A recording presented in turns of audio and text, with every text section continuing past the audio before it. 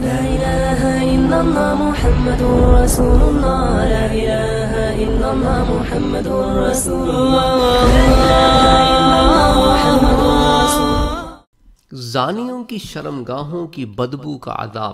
حضرت علی بن طالب کرم اللہ وجہ فرماتے ہیں، قیامت کے دن لوگوں پر ایک بدبودار ہوا چلائی جائے گی۔ حتیٰ کہ اس کی تکلیف سے ہر نیک و بد چیخ اٹھے گا۔ جب یہ بدبو پوری طرح پہنچ چکے گی تو ایک منادی ندا کرے گا، جس کو سب سن رہے ہوں گے۔ یہ ان سے کہے گا، جس شے نے تمہیں اذیت پہنچائی ہے، اس کو پہچانتے ہو۔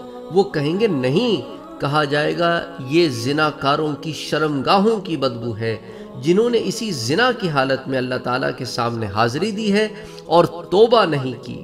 پھر یہ ہوا ان اہل محشر سے لوٹ جائے گی۔ اس روایت کو البدور السافرہ میں روایت کیا گیا ہے۔ علاوہ ازیں اس کو الترغیب و میں امام مندری نے بھی روایت کیا گیا۔ علماء زمین میں لکھتے ہیں کہ زانیوں کو جب دوزخ میں ڈالا جائے گا تو بھی ان کی شرمگاہوں سے ایسی بدبو سب دوزخیوں کو پریشان کرے گی۔ ہمارے چینل کو سبسکرائب کرنا نہ بھولیں اور بیل کے آئیکن پر کلک کریں تاکہ آپ کو ریگولر نوٹیفیکیشن اپڈیٹس مل سکیں۔